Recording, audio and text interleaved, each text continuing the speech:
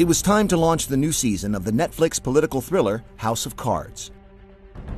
But how do you get the world talking about a fictional president when real presidential candidates were making all the noise? Uh, I don't know what I said. Uh, I'm back. I'm really rich. The Republican showdown shattering records, 24 million Americans tuning in. You start by hijacking the highest rated political debate in American history. A moment during a break in the Republican debate last night. Yeah, a campaign ad snuck its way into the commercial lineup, and it was quite a surprise. Let's have a look. It's a new day in America. Today, more people will go to work, return home to their families, and sleep more soundly than ever before. All because one man refuses to settle, putting people before politics and honesty before agendas. That man is Frank Underwood. America, I'm only getting started. I'm Frank Underwood, and I approve this message.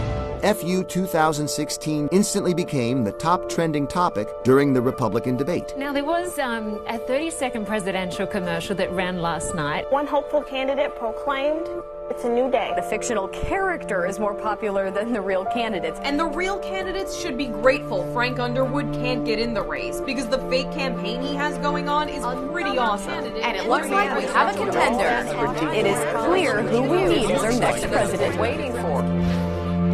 On Underwood's site, voters found a more revealing look into his campaign and could show their support by saying F FU to any issue facing America today. Fans could even show support for the campaign with FU swag and visit his real campaign headquarters during the presidential primaries in South Carolina. And the campaign as a whole has received over 6.6 billion media impressions to date, all resulting in one of the most talked about launches in Netflix history.